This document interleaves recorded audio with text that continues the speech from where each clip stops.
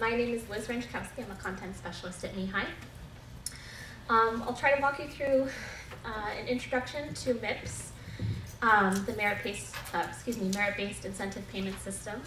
Um, this is kind of the next chapter as we move forward with integration of health IT and moving toward a performance-based payment system, um, measuring the use of health IT, and then determining your reimbursements, particularly through Medicare, um, based on your performance in those, uh, those areas. So we have a packed agenda, but we'll try to get through it um, as quickly as possible and leave plenty of time for Q&A. As Brendan mentioned, this is a relatively new program and we're learning right along with you. Um, MACRA, which is the legislation that introduced MIPS. Um, MACRA is the Medicare. oh, bear with me. Oh, I can't. I know I do have it here. Medicare Access and CHIP Reauthorization Act. Uh, but MACRA is the legislation that did uh, introduce MIPS, and that was released just in April of 2015. So this is all relatively new. CMS is still engaging in soliciting stakeholder input um, and seeking feedback from the provider community to uh, roll out some key elements of MIPS. So they're still developing some proposed rules that will implement um, as I mentioned, some of the key elements of, of MIPS. And so if you have a question today that we can't answer, um, please bear with us. We'll try to find an answer if there's one out there and uh, certainly get back to you. But as I said, it's a good learning experience for us as well because uh, we're learning this right along with you. So um, we'll touch upon the current health IT landscape. As most of you know, um, the health IT initiatives and quality reporting programs that currently exist create a complex and ever-shifting, ever-evolving landscape for all of you. Um, and this requires a lot of change to your clinical and office workflows. Um, there's obviously, as it says there at the bottom, um, consequences of non-compliance with these initiatives. Um, I love that ICD-10 and CMS administrative simplification initiatives because I love that terminology, administrative simplification. Uh, I think it's anything but simple to implement a lot of these things, so um, I think that's sort of a misnomer. But uh, but as you know, it's it's complex, it's ever shifting, it's ever changing, it's ever evolving, and so um, CMS has said that they're trying to sort of streamline and simplify to whatever extent they can um, some of these programs, and basically they're going to use that shift and, and that streamlining process to uh, both revise existing payment models and also improve the quality of care um, to the extent that they can. So again, it's about that shift away from fee-for-service and toward pay-for-performance. Um, but then the question becomes, well, how do you evaluate a provider's performance? So MIPS is kind of where that's at. Um, as I mentioned, the legislative background behind this whole thing is the Medicare Access and CHIP Reauthorization Act, um, signed into law in April 2015. Um, it replaces the sustainable growth rate with this revised reimbursement model contains some other provisions as you can see there, but the bottom line for the purpose of this presentation today is that MACRA will change how Medicare uh, pays physicians and other healthcare providers. So again, MACRA, uh, MACRA excuse me, replaces that sustainable growth rate with a combination of payment adjustments and incentives for providers who participate in pay for performance and alternative payment models. Um, Thomas is going to touch upon the alternative payment models and what those look like um, in a later part of the presentation.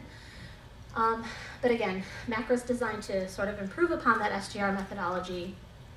Um, and that last point there, that it's designed to promote quality of care over quantity and volume, again, um, alludes to that idea that we're moving away from fee-for-service and toward pay-for-performance. And we just need to figure out how we're going to measure performance and what that measurement's going to look like. I did want to mention here too that MACRA does provide some provisions for folks who work in smaller practices. So they define a small practice as 15 or fewer providers. And it also provides some provisions for providers in health professional shortage areas or HPSAs. Um, we'll talk about that a little bit more later in the presentation, but I know it talks on this slide about physicians in high quality efficient practices may benefit financially. Well, what if I don't work in a high quality efficient practice? What if I'm struggling with some of this stuff, right? So there are some provisions within MACRA that um, help smaller providers. Again, they define that as 15 or fewer providers. Um, and folks who work in um, health professional shortage areas and um, you know, high risk, high need areas.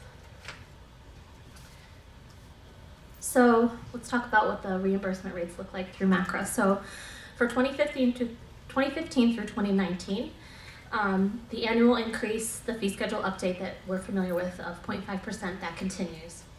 But starting in 2019, um, that 0.5% increase is phased out, so your base reimbursement rate holds steady. Um, like it says here, physicians can supplement their reimbursement through participation in MIPS or in uh, AC or APMs, excuse me, um, such as ACOs. The APM incentive payment is a 5% lump sum that's available from 2019 to 2024. And the MIPS payment adjustments based on your composite score, we'll talk about what the composite score is in a moment, um, increase from plus or minus 4% to plus or minus 9% over the course of a few years. And it's important to note that that's a plus or minus. So it kind of works similar to the um, existing value modifier PQRS programs where it can be a plus or minus depending on your performance compared to your peers. Um, and then starting in 2026, that annual increase uh, reappears, it reemerges, and it is actually a 0.75% increase for people who are, are participating in an APM, and then a 0.25 increase for everybody else. So the bottom line here is that the MIPS payment adjustments are going to um, replace that automatic increase of 0.5% beginning in 2019. And what that means for all of you is that um, because those MIPS payment adjustments begin in 2019, the performance year that that's going to be based on is 2017. So that's coming up quicker than I think some people may have realized. Um, we're practically in 2016 as it is, so it really is only a year um, to kind of get your ducks in a row and get ready for MIPS. The good news is that a lot of this is based on existing programs, and we'll talk about that. So let's talk a little bit about the timeline. Um, this, when I first saw it, looked overwhelming, and I was like, what is all this? Uh, so we'll walk through it line by line so it's not quite so daunting. So uh, that first line refers to the fee schedule update that I was just talking about. Um, that 0.5% that, uh, excuse me, remains until uh, 2019. And then um, it reappears in 2026 as a 0.75 increase for anybody that's in an APM and a 0.25% increase for everybody else. Um, the middle line is MIPS, which is what I'll focus on from here on out. Um, it may be difficult for you to read. Hopefully you can read those yellow lines there. But MIPS is based on four categories. Uh, quality, resource use, clinical practice improvement, and meaningful use of certified EHR. And again, those percentages that you see there that begin in 2019 are plus or minus. Um, and it does increase as much as not, up, up to 9%, which is pretty significant. The bottom line there is for APMs or alternative payment models. And again, Thomas will talk a little bit more about that in a few moments. Um, but that includes the lump sum incentive payment of uh, 5%. And if you do participate successfully in an APM, you are excluded from MIPS. So it's kind of an either or um, deal where you can either choose to participate in MIPS or choose to participate in an APM and be excluded from MIPS. Excuse me. So again, uh, as you know, the existing programs like PQRS, Value Modifier, MU have that two-year delay from your performance year to your payment year. Um, and again, it's anticipated that 2017 would be the first MIPS performance year, um, which would dictate your 2019 payment adjustments. Um, CMS will further define these details in a final rule. So as I mentioned, they're currently seeking stakeholder input and trying to um, draft these proposed rules, and then will, there will be, in keeping with their previous practices, a public comment period on the proposed rule, and then they'll come out with a final rule that takes into account those public comments and questions that do come in. Uh, for stage three MU, which is optional in 2017, mandatory in 2018, um, it's interesting to note that's going to be measured solely under the MIPS program, so there will be no standalone Medicare MU penalties beginning in 2018. Um, and again, the final rule will address a couple of things. Um, notably here, that final rule will address how group performance and individual performance will affect MIPS scores. So the final rule will address how group performance and individual performance are going to be integrated. Because it says here, um, components of MIPS currently vary in that regard. So As many of you know, PQRS value modifiers support group reporting. So you can report your PQRS measures through what they call the group practice reporting option or GPRO. Um, but MU evaluates performance on an individual provider level. So even though you can consolidate your Medicaid um, payment uh, patient volume threshold data and report as a group in terms of your Medicaid patient volume threshold, the MU measures are evaluated based on individual provider performance. So one of the questions that's sort of lingering in the air is how will MIPS consolidate those two different types of reporting? Um, and even beyond that, the question came up today, well, who's going to oversee MIPS? Is there going to be a sort of a unified governing body within CMS that's going to oversee MIPS, or is it going to remain sort of siloed programs for people? Um, and that still remains to be seen as well, so we'll see. But basically the question becomes what's the extent of the integration? Is it going to remain these individualized siloed programs where they just take your performance within those programs and create a composite score? Or will there be a, a more integrated approach in terms of your reporting mechanisms and also who oversees this program? So basically MIPS integrates three existing programs. PQRS, as I mentioned, the value modifier, and the EHR incentive payment program, or MU.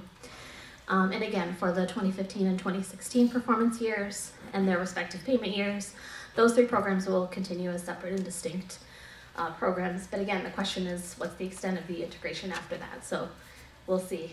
Um, the list of eligible professionals that you see there um, for the first two years of MIPS, it looks a lot like the current list of eligible professionals for meaningful use.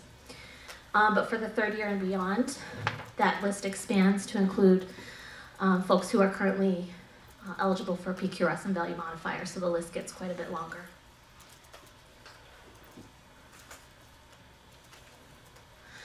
Again, you have that either or option, so EPs can either participate in MIPS or be a qualifying participant or QP, and that's a new term we're sort of introducing here, in an alternative payment model. um, EPs who do participate in MIPS, again, receive those payment adjustments, positive, negative, or neutral based on their composite performance score. Um, if you receive a high composite performance score, obviously you're eligible for an incentive. If you receive a low composite com composite score, um, you're subject to payment penalties. And then on a yearly basis, the QPs, the people that participated in an APM, um, as we talked about earlier, will receive a 5% lump sum incentive payment. The composite score is based on four categories. Again, as I talked about, quality, resource use, clinical practice improvement, and MU and there again you see the possible um, payment adjustment ranges. So just to touch upon what's involved in your MIPS composite performance score. Um, the four categories as you see there are weighted. So basically you get a score from 0 to 100, um, but your performance again in each category is weighted um, so that quality and resource use make up together 60% of your MIPS composite performance score um, we'll talk about that in a few moments, how that kind of uh, is heavily weighted toward PQRS and value modifiers that currently exist. And then MU makes up 25%, and as you can see, that new, the new-ish category of clinical practice improvement makes up 15%. Um, I should mention here too that the weights can be adjusted, so CMS does have that discretion or that flexibility to adjust these weights if people are performing particularly well in a particular performance category um, they can reduce the weight of that category and vice versa. If there's one they want to take a closer look at, they can increase the weight of that category. So they've kind of built some flexibility wisely into the, into the law. Oops. So let's look particularly at uh, each component of the composite score. The first one being quality, which looks a lot like what we currently know as PQRS. So it'll include quality measures currently uh, used in existing programs like Value Modifier and PQRS.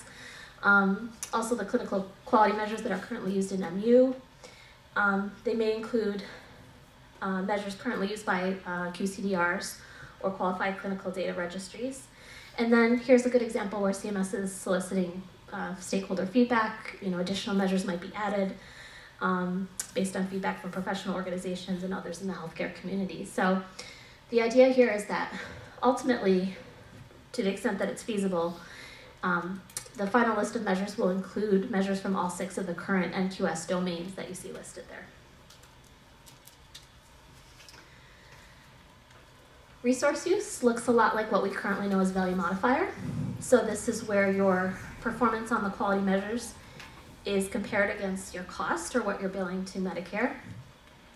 So for those that aren't familiar, the value modifier um, provides differential payment to physicians under the um, physician fee schedule based on the quality of care furnished, so that's your performance on the quality measures, compared to the cost of care during a particular performance period. And basically it makes sense. High quality care at a low cost results in an upward payment adjustment. Low quality care at a high cost uh, results in a downward payment adjustment. Um, they do talk about how resource use measures, again, will be um, enhanced through public input. There'll be an additional process that directly engages professionals um, to try and come up with, um, you know, how this is actually going to be operationalized and implemented. And the idea here is those bottom two that um, providers are not um, penalized for serving a sicker or more costly patient. Um, you know, so they're they're able to report on the type of treatment and the condition of the patient again, so they're not penalized for treating a you know a more costly or sicker patient.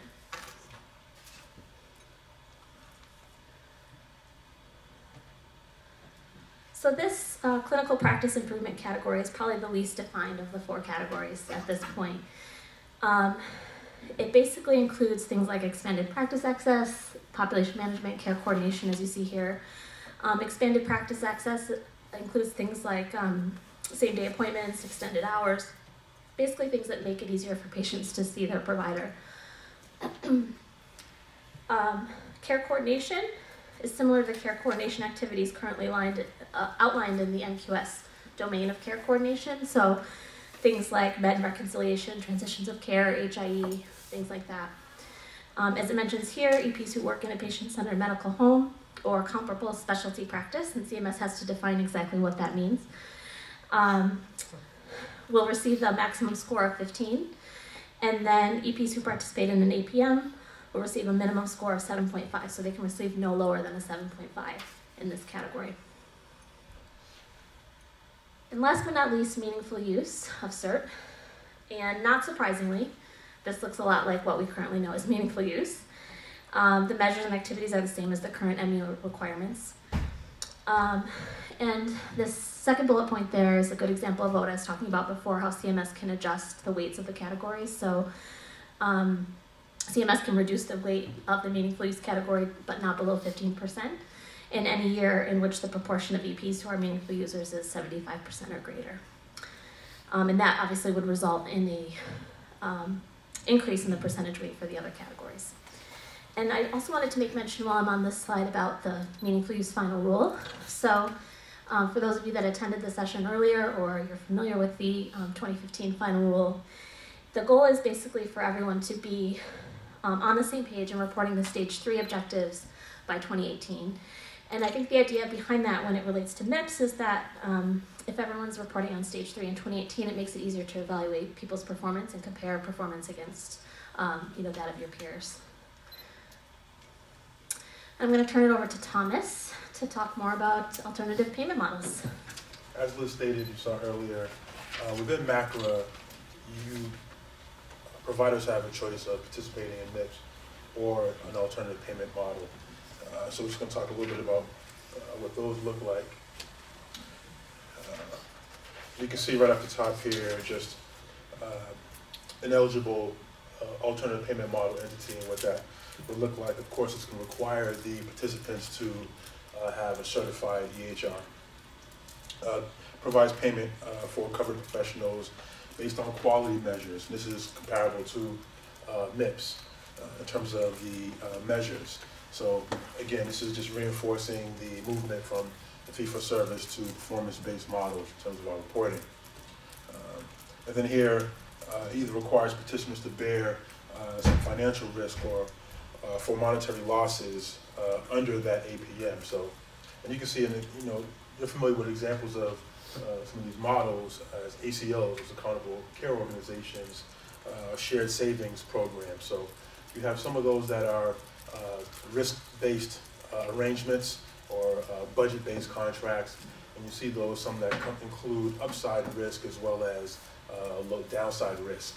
Um, And these are predicated on uh, estimates or, um, uh, you know, budgets around actual costs uh, for care uh, for either a a particular condition or a patient population. Uh, Just to give you a little bit more on that, in terms of if, you know, you budget out, you make an estimate of actual costs for care within a, a practice, and that, uh, those actual costs uh, exceed what you budgeted uh, for the year, then the, the providers with that practice will share in some of the excess. Uh, however, they're not, um, you know, responsible for any losses, you know, should uh, the actual cost fall below what that budget is.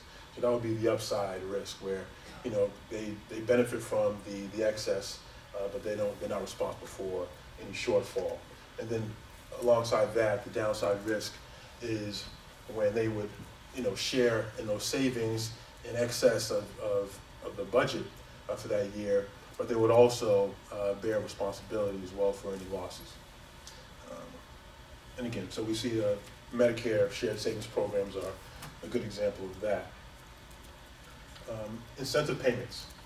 Uh, For alternative payment models, the incentive payments fall into two uh, options that are available. And Liz sort of touched on some of this uh, during her portion. Uh, One option is the Medicare threshold, uh, and the second is the all-payer threshold. And just a quick note with the all-payer threshold, that includes uh, all-payer payments as well as, and Medicare payments. And with the Medicare thresholds, um, this is gonna begin sort of in 2019, 2020 with the Medicare thresholds. And you can see here, a certain percentage of Medicare payments are attributable to the services furnished uh, to an eligible APM. And then, two, I'm sorry? Oh, I'm sorry. I'm sorry. In 2019, 2020, that's going to start at 25% for those Medicare uh, payments. And as we saw on the timeline that uh, Liz spoke about uh, in that bottom section, uh, you can see where if the provider exceeds the Medicare payment uh, threshold, they'll get a lump sum uh, 5% bonus. Okay. The all payer, uh, all payer thresholds, again, it's the all payer payments as well as the Medicare payments. Uh, That's not, that will begin in 2021. And we'll see, uh, in terms of the percentage of uh, payments attributable to the services within the APM, it'll be 50% for all payer and 25% uh, for Medicare uh, payments. And again, uh, if you exceed both the med, the all payer uh, threshold and the Medicare thresholds, uh, you get that lump sum 5% within the APM model. Uh, next is the development of PFPMs or physician-focused payment models. Um, just as all this is new for, for everyone, we, see we have a little more detail around MIPS and uh, some of the other alternative payment models uh, for these physician-focused payment models. It's still in still in uh, development, newly proposed. Uh, there's nothing really specifically defined uh, from MACRA. Um, and so they've sort of passed on the job to CMS to sort of help build this out and establish uh, some of the guidelines around this program, around this particular model.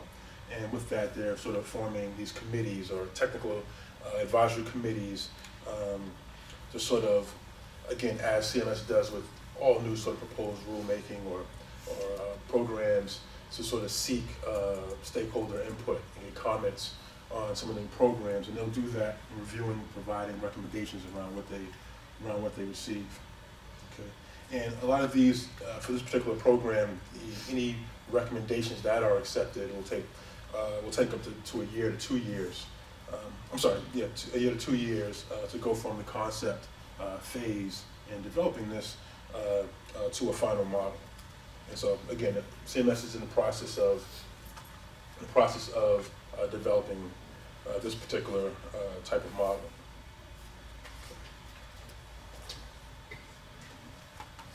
And with that, we'll talk a little bit about the request for information, or RFI, and again, the process that CMS uses around any proposed rulemaking or changes to programs um, that they're seeking, or they, they seek uh, stakeholder input and comment. So there's a comment period fortunately for this one, it ended last week, Tuesday, on the seventeenth at, uh, five P M, which was, uh, very interesting for our, our, our regional meeting last, uh, week, because we, again, we're at the end of the program, and it was probably two o'clock, so we told people you have three hours to get in and get your comments in, uh, for this program. Um, You can see for, um, for the MACRA provisions, uh, what they were seeking was input on these following topics. Of course, MIPS and EP, uh, the provider, any identifier exclusions that might be available, virtual groups. And just interesting with uh, the virtual groups is a program where uh, the performance of one group uh, can be actually tied to the performance of another group despite, you know, or whether, whether or not that group shares the same tax ID number. So I think that's a little interesting from what we're used to with uh, some of the other reporting programs that we're, we've been uh, participating in. Uh, For instance, uh, PQRS, uh, where providers that, you know, your performance can be, you know, group-based. However, those providers within that group would have to be, you know, working under the same tax ID number. Some other topics here that they sought uh, input and uh, comments around quality performance category. Again, as uh, Liz uh, pointed out uh, in regards to MIPS, that is uh, what we relate to PQRS reporting. Resource use again, is the value-based modifier program that sort of attached to PQRS as we know it now. And then you have this here, meaningful use as well. There's flexibility and weighting performance categories, so you see uh, Liz touched on that as well. And public reporting.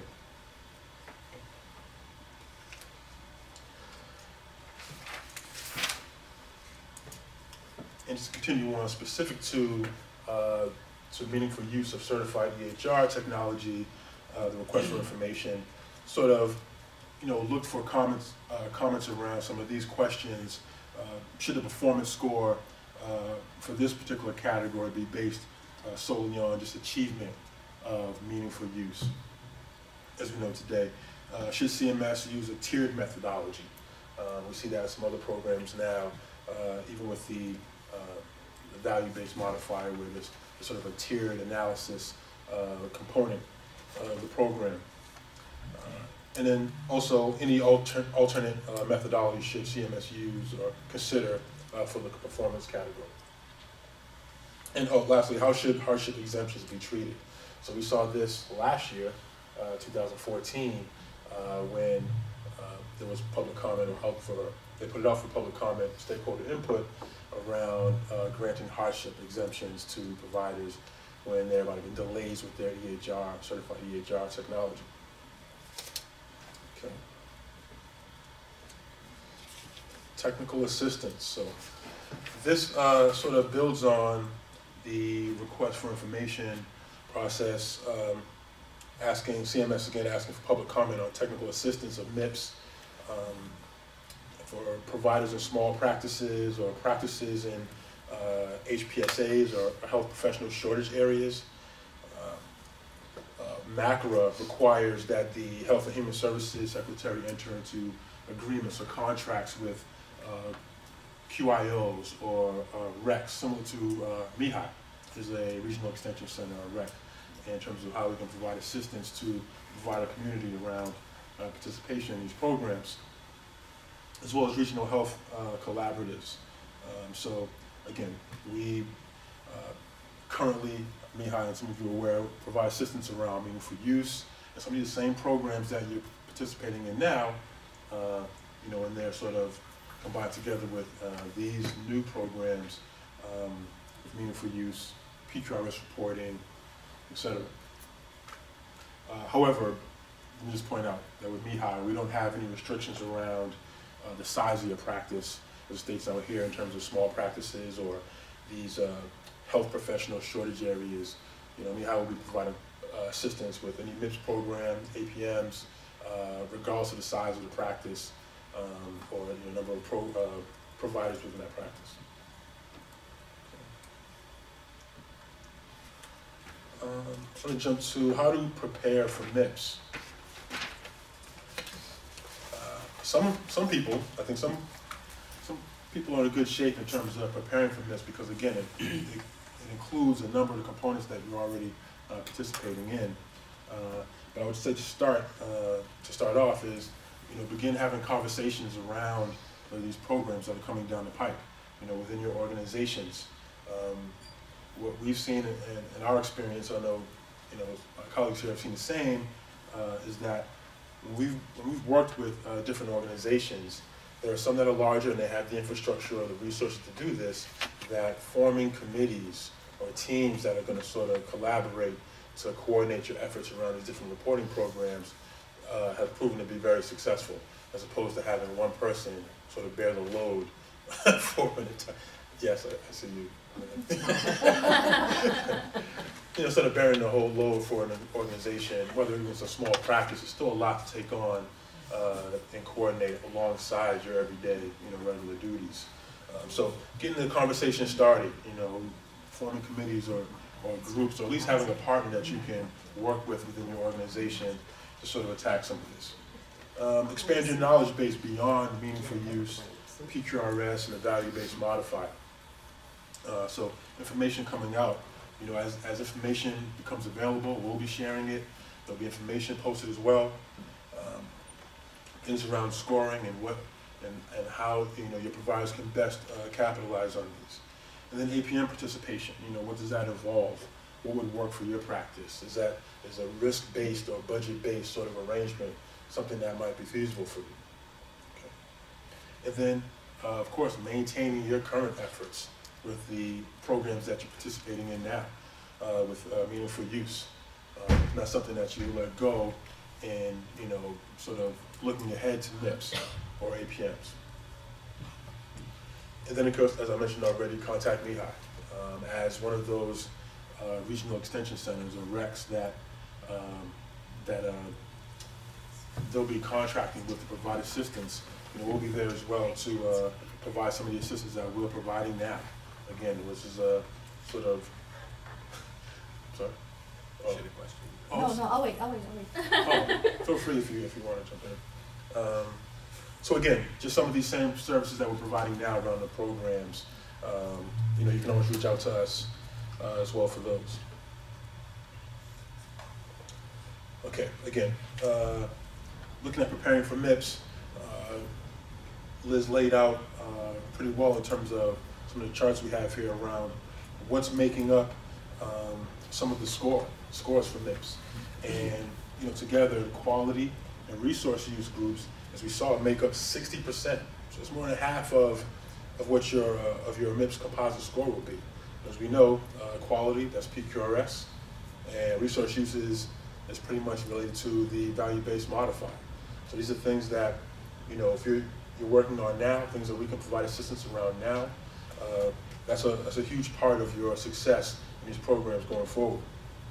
The things that you're working on now, and some of the advice that we give now around PQRS. You know, uh, starting out early select your measures. You know what you're going to report on, getting organized around the data that's going to be uh, needed for those for those measures that you report. Uh, performing dry runs uh, in terms of your reporting and how that's going to look for uh, different for your performance with different providers, and then improve improve provider performance. Um, we see in some cases where uh, where you can, uh, particularly an, uh, an example would be a PQRS. Uh, a program like this is where you know some providers' performance, you know, as you're going as a group, particularly as an APM, where your one provider's uh, performance can sort of, or lack of performance, can pull down the entire group. Other considerations like maybe thinking about uh, maybe eliminating that provider from that from your reporting, if you can weigh the sort of the, the cost of what that penalty might be for that one provider versus how much it's going to cost the entire group with their performance. Things to keep in uh, keep in mind. Uh, next here is uh, meaningful use. It makes up 25% of your MIPS composite score. Um, so things around that, preparing for meaningful use attestation. A are you doing that now. Um, and that's something that we, of course, we provide assistance around. Uh, reviewing the final rule, modifications. You have, uh, you know, two years now that you're going to have of a single set of objectives and measures that you can work with. Um, instead of, you know, there won't be a change next year. in terms of what your objectives. Yeah. Hopefully, you. hopefully. We have it in writing, 2015, 2017. And of course, stage three coming down the pike in, uh, in 18. Uh, resolving registration issues ahead of time. That's an issue that we see all the time, uh, particularly when you have turnover in staff at an organization. Make sure that providers are registered properly, making sure that whoever is going to be coordinating your efforts around uh, these programs, particularly meaningful use, that uh, you have a- an office manager or practice manager that is uh, designated or is a designee and uh, you know authorized to attest on the behalf of your providers. So getting all that uh, registration uh, work taken care of ahead of time. Uh, being prepared for potential audits, something that we preach now, for meaningful use. Uh, as you know, the rules, you want to, any supporting documentation that's required uh, for meaningful use is something that you have to maintain on file for six years. That is what you have to do. Um, for any of you that enrolled with us, members of MeHI, uh, you know, we have a member portal that you would have access to. And within that member portal, there is what we call secure document storage. And so beyond what you may save on your, you know, desktop or whatever, any supporting documentation uh, around your attestation, application for use, uh, we uh, recommend that you save those documents within a secure document storage within your portal. It's something that will be available there. MeHI, particularly in the Medicaid program, we're contracted with MassHealth as a third party. That sits well in terms of the audit process uh, as well. And in the event that there is turnover in your organization, uh, how many times do we see where people are new and they're saying, you know, I don't have access to what files were there the person, you know, before me. I don't know what they saved, I don't know how to get access to it.